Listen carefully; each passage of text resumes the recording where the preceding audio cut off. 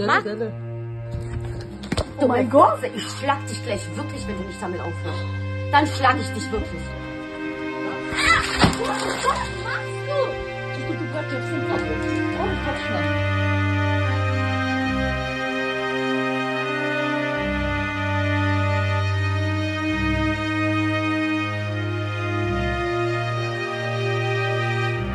Kendisi geldi kapının önünde geziyor.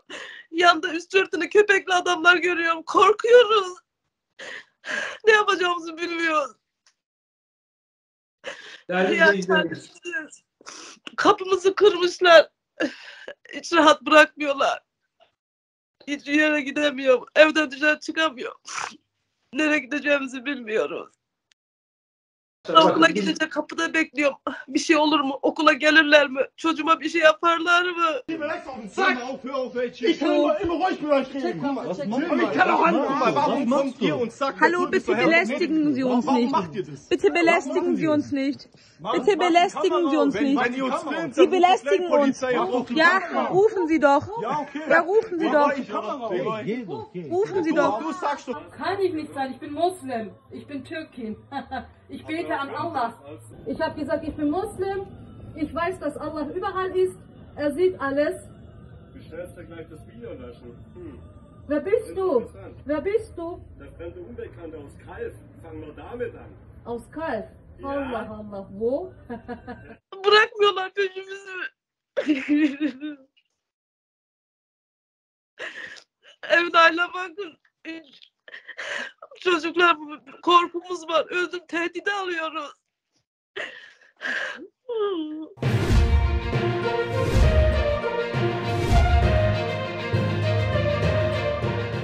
Değerli izleyicilerimiz gerek ana vatanımız Türkiye'den gerekse de dünyanın pek çok noktasından bizi izleyen herkese sağlıklı ve mutlu günler diliyorum. Yayınımıza hoş geldiniz. Kıymetli izleyicilerimiz biz bu ekrandan geçtiğimiz haftalarda Almanya'da ırkçıların saldırılarına uğrayan bir ailemizin Akman ailesinin yaşamış olduğu akıllara durgunluk veren büyük olayları ekranlarınıza taşımıştık. Kendileri yaşamış olduğu şehirde, köyde, mahallede ırkçılar tarafından adeta istenmeyen kişiler ilan edildiler. Maalesef evlerine kadar gelip saldırdılar, vurdular, kırdılar. Bunun neticesinde ise hiçbir şekilde kendileri hakkında hukuki işlem yapılmadı. Adeta yaptıkları yanına kar kaldı. Değerli izleyicilerimiz yapmış olduğumuz bu yayından sonra neler oldu? Yeni gelişmeler neler? Bunların hepsini konuşacağız. Şimdi Almanya'dan karşımda Selçuk Akman, Akman Bey var. Merhaba Selçuk Bey. Merhaba Fatih Bey. Şimdi öncelikle şunu sormak istiyorum. Yaşamış olduğunuz bu akıllara durgunluk veren ırkçılık saldırıları biz gündeme geldikten sonra devam etti mi? Daha sonrasında neler yaşadınız? Bunları bize anlatır mısınız lütfen? Evet, e, sizin haberinizden sonra e, konsolosluk bizle irtibata geçti. E, yaklaşık 3-4 gün sonra. E, biz gittik oraya. Eşimle beraber gittik. E, durumu anlattık onlara. Onlar da tamam bize sahip çıkacaklarını söylediler. E, bizden gerekli kağıtları aldılar.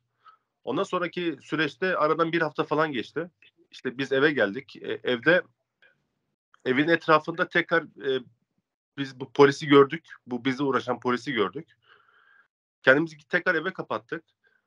Ondan sonra kafamızı çıkar- e, dağıtmak için dışarı çıktık. Döndüğümüzde camımız kırılmıştı. Biz size resmini yollamıştık onu. Ondan sonra e, bu polis oturduğumuz yerin muhtarlığına şey atmış. e, bir, bir mail atmış. Yani bizim çok çok tehlikeli bir aile olduğumuzu, işte burada burada kimseye delilik vermeyeceğimizi falan söylemişler. Kapımıza polis geldi. Sizin yaptığınız haberden dolayı yani sanki bunu bize biz ben bu haberi yapıp da internete vermişim gibi. Polis geldi burada sorgulama yaptı. Siz niye bu haberi yaptınız falan dedi. Biz yapmadık. İşte haber yapma özgürlüğü olan birisi yaptı bunu. Gazeteci birisi yaptı dedik. Ondan sonra tekrar gittiler. Ama o polis bizim geldiğimiz köydeki polis sürekli uğraşıyor. Buradaki muhtarla şey atıyor. e, mail atıyor. Adımızı burada kötülemeye çalışıyor. Evet. Şimdi bizi ilk kez izleyenlere ben kısa bir hatırlatmada bulunacağım. Akman ailesi Stuttgart yakınlarında bir yerde yaşıyorlar. Doğru değil mi? Ee, evet. Evet. Şimdi e, aile bir ev alıyor. Daha sonra sözde komşuları biz burada yabancı istemiyoruz. Türklerden nefret ediyoruz. Türklerin bizim gözümüzde bir hayvan kadar dahi değeri yok. Çok özür dilerim sizlerden değerli izleyicilerimiz. Bu tür saldırılar, hakaretler görüntülerde de görüyorsunuz. Bu kadın kendisinin mahalledeki, köydeki kişiler tarafından yabancıları buradan kovmak üzere görevlendirildiğini ifade ediyor. Ardından da Akman ailesine saldırılar başlıyor değerli izleyicilerimiz. Maalesef kıymetli izleyicilerimiz kendileri hukuki süreci başlatıyorlar.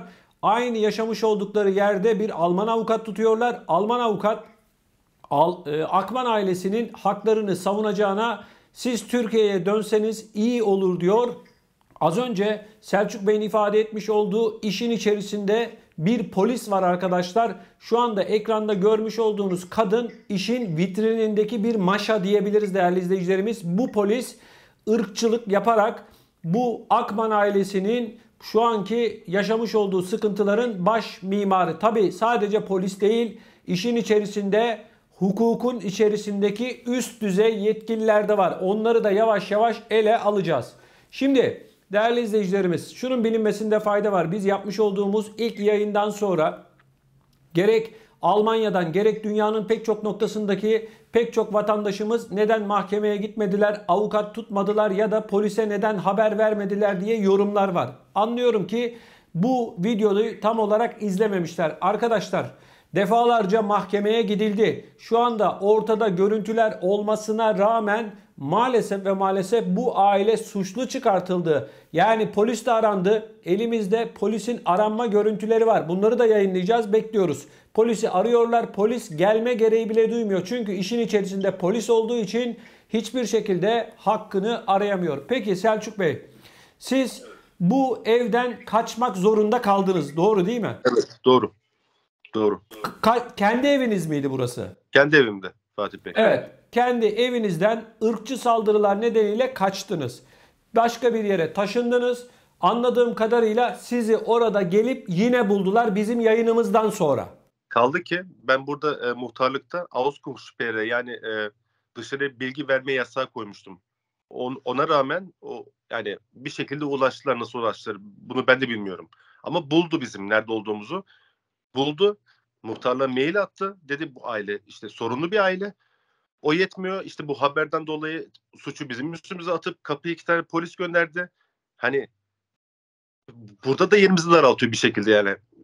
Fatih Evet. Bey. Şimdi bu olaylar devam ederken değerli izleyicilerimiz biz bu ilk yayını yaptık. Daha sonra da bana da çok sayıda tehdit, hakaret ve küfürler geldi. Bizzat Almanlar tarafından bizim videolarımızın altına bu hakaretleri, küfürleri yazdılar. Tehdit ettiler bizi. Bizim de öldürüleceğimizi falan. Tabi bizim şöyle bir hayata bakış tarzımız var. Demirden korkan trene binmez. Bizi şikayet ettiler arkadaşlar. Bizim ilk yapmış olduğumuz yayınla ilgili olarak YouTube'a da şikayet ettiler bizi. Biz gerekli açıklamaları yaptık. Videonun kaldırılmasını istediler. YouTube yapmış olduğumuz savunmadan sonra kıymetli izleyicilerimiz durumu değerlendirdi ve videonun kaldırılmamasına karar verdi. Şu anda bu konuyla ilgili olarak tüm yayınlarımızla devam ediyor. Hiçbir şekilde mahkeme kararı olmadan da bu yayınları kaldırmayacağız. Aksine daha da devam edeceğiz. Neden bu cümleleri kuruyorum? Bizi Almanlar izliyor. Bu Almanları ya- tanıyan, Türkçe bilen birileri bunlara tercüme ediyorlar. Bu anlaşılıyor. Yazmış oldukları yorumlardan da biz bunları anlayabiliyoruz. Peki Selçuk Bey, e, Türk konsolosluğu size yardımcı olacağını, bu sorunu çözeceğini söyledi mi? bize yardımcı olacağını, bize avukat tutacağını söyledi bize. Ama şimdiye kadar bizi bir arayan olmadı. Ama bekliyorum. Ya yaparlar herhalde. Evet. Buna ihtiyacımız olduğunu gördüler. biz de yapacaklarına inanıyoruz. Kıymetli izleyicilerimiz bu olay sadece Akman ailesine yapılan bir olay değil.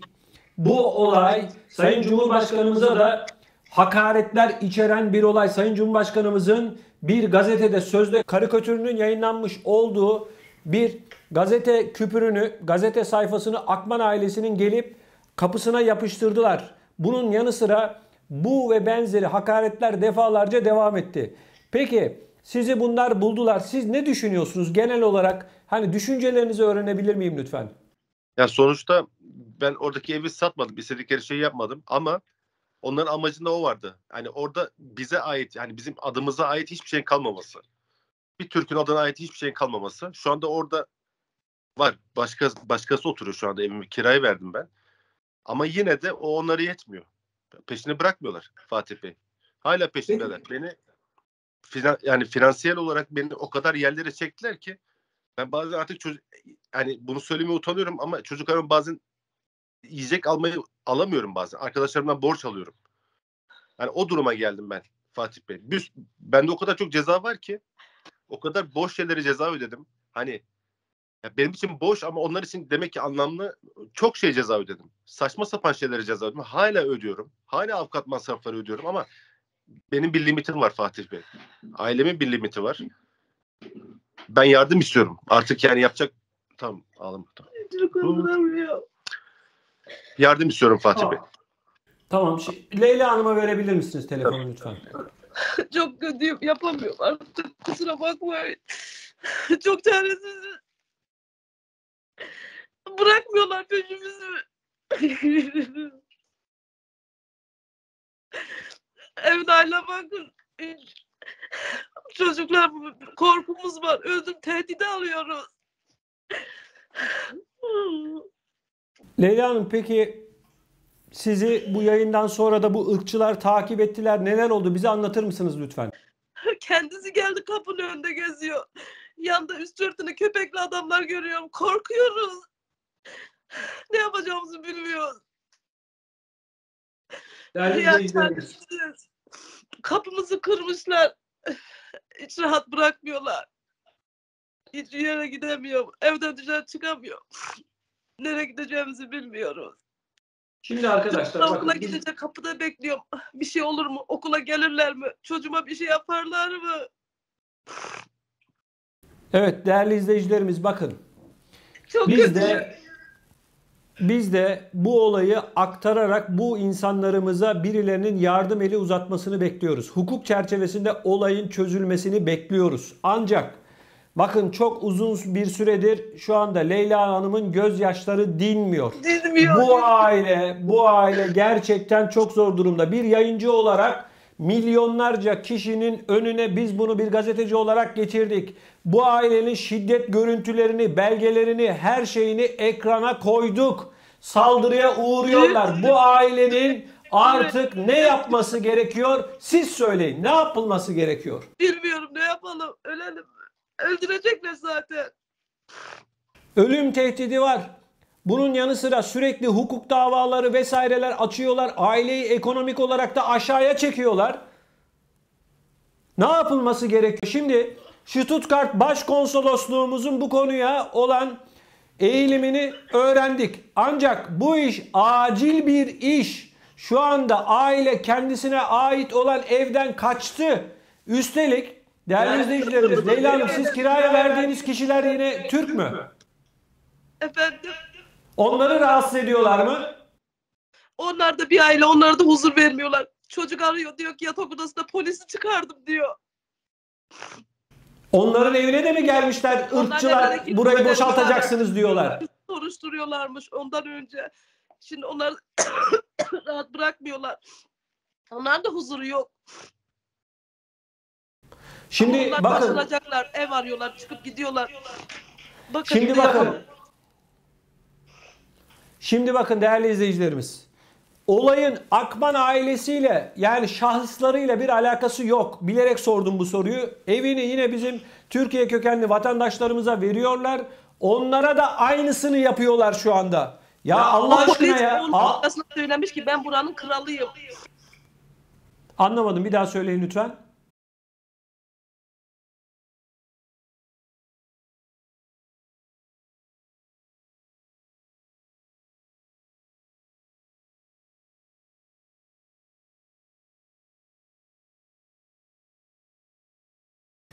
Şimdi değerli izleyicilerimiz sinirlenmemek elde değil. Ya bakın Allah aşkına ya. Şimdi olayın Akman ailesinin şahsi durumu değil. Bunlar ırkçı açık bir şekilde ortada. Belgeler var, görüntüler var. Saldırıyorlar, çoluk çocuğunu tehdit ediyorlar. Kaçmış oldukları yerde insanlar kendi evini terk etmek zorunda oluyor.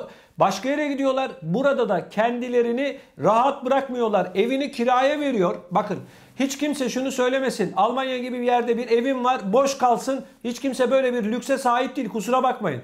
Hal böyle olunca taşınan insanlara da bakın rahat vermiyorlar arkadaşlar. Yani bunu yap, bununla ilgili olarak adım atmak için ne yapmak gerekiyor? Mahkemeye gidiyorlar. Mahkemede bunlardan taraf. Yani bu ırkçılardan taraf, polis bunlardan taraf. Hepsi bir şebeke adeta olmuş vaziyetteler. Kim gelirse gelsin oraya, Türk gelsin, yabancı uyruklu kim gelirse gelsin istemiyoruz diyorlar. Sanki babalarının dükkanı. Arkadaşlar Allah aşkına konsolosluğun da artık bu işten haberi var. Peki harekete geçmek için, hukuki olarak adım atmak için ne yapmak gerekiyor çok merak ediyorum. Yani bu insanlar ölsün mü kardeşim? Ne yapmak gerekiyor? Söyleyin bakalım bir gazeteci olarak biz gündeme taşıyoruz. Herkesin haberi var. Gazetelerde çıkıyor. Bunun yanı sıra tüm toplumumuzda büyük bir tepki oluşturuyor. Hani ne yapalım arkadaşlar? Hani siz söyleyin. Diyin ki şu işi yapın değil. Biz bunu yapalım. Hani ne yapalım? Hukuk çerçevesinde ilerlesin diyoruz. Bakın biz de bundan önce bizim videomuzun altında bu ailemizin ırkçılığa uğramış olduğu yerin adresini isteyenler oldu. Biz bunları bilerek vermedik. Git, gidecekler. Türkler sağ olsunlar, var olsunlar. Hepsinden Allah razı olsun. Duyarlılık gösteriyorlar. Ancak bu şu anki Akman ailemize zarar verecek bir durum. Bizim işimiz hukukla, hukuken çözülmesini istiyoruz ve bekliyoruz. Hukuk da yok. Yani maalesef böyle salak saçma bir durumun içerisindeyiz. Şimdi kendinizi benim yerime ya da Akman ailesinin yerine koyun. Hadi çözün bakalım nasıl çözeceksiniz? Hadi çıkın işin içerisinden. Irkçılık yok diyorlar Almanya'da. Bu ailenin suçu ne? Bu insanların suçu ne kardeşim? Evet Leyla Hanım buyurun dinliyorum. Yardım istiyoruz. Bize yardım edin. Kurtarın bu ırkçıların elinden bizi. Ya da bir gün ölüm haberimizi alırsınız. O da olur. Ben buna inanıyorum. Çocuklarım var korkuyor.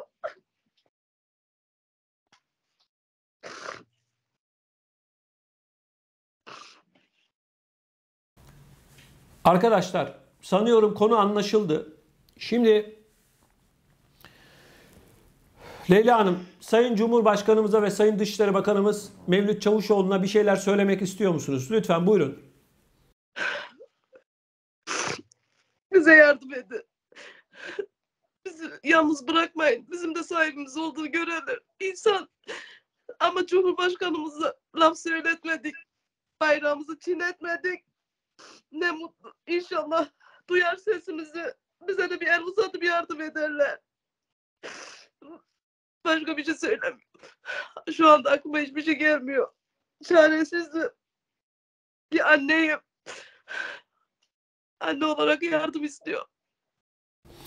Evet arkadaşlar bakın Avrupa'nın ortasında bir aile çaresiz bir şekilde kendilerine yardım elinin uzatılmasını bekliyor. Biz de Sayın Cumhurbaşkanımız başta olmak üzere Sayın Dışişleri Bakanımız Mevlüt Çavuşoğlu'nun da bu konuyla ilgili olarak gereğini yapacağına olan inancımız tamdır.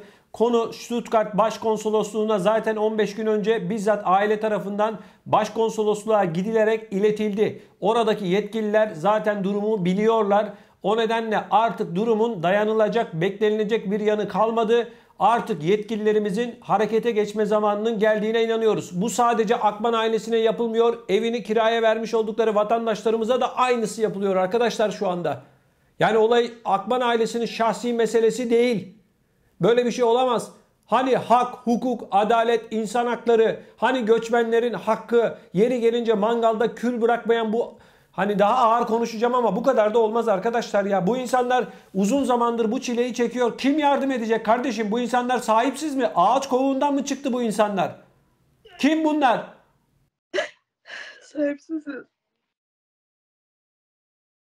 Bu dakikadan sonra bu ailenin başına bir iş gelirse tüm yetkili makamlar başta Stuttgart Başkonsolosluğumuz olmak üzere tüm yetkili makamlar sorumludur. Vicdanen sorumludur. Hukuken de sorumludur. Biz durumu bir gazeteci olarak kamu hizmeti yapıyoruz. Kamuoyunun gündemine taşıyoruz. Yetkililer artık bunu biliyor. Gazete manşetlerinde dahi bu olay işlenmiş vaziyette. Bunun yanı sıra biz de defalarca gündeme getirdik. Bu saatten sonra eğer yetkisini kullanmayan kamu görevlileri varsa elbette ki onların, onların da bu işle ilgili sorumluluğu vardır. Bakın aile ne diyor? Bizi ölümle tehdit ediyorlar. Daha ne olsun? Hani daha ne olması gerekiyor? Bu insanların öldürülmesi mi gerekiyor? Durum bu. Ortada arkadaşlar. Peki Leyla Hanım, ben bu konunun takipçisi olmaya devam edeceğim. Sizin hukuken doğru, en doğru bir şekilde tüm haklarınızı kavuşana kadar, alana kadar yardımcınız olmaya, bir gazeteci olarak bunu kamuoyunda sıcak tutmaya devam edeceğim. Sorumluların da bu konuda gerekeni yapılacağına olan inancım tamdır arkadaşlar. Başta Stuttgart Başkonsolosluğumuz olmak üzere, Berlin Büyükelçiliğimiz, Türkiye Cumhuriyeti Dışişleri Bakanlığımız mutlaka bu konuya el atacaktır diye düşünüyoruz. Aksi bir şey düşünmüyorum. Aklıma da gelmiyor bile. İnşallah. Evet, değerli izleyicilerimiz bu konuyla ilgili olarak sizler de görüşlerinizi videomuzun altında bulunan yorum bölümüne yazarak bize iletebilirsiniz. Gerek ana vatanımız Türkiye'den gerekse de dünyanın pek çok noktasından bizi izleyen herkese sağlıklı ve mutlu günler diliyorum. Hoşçakalın.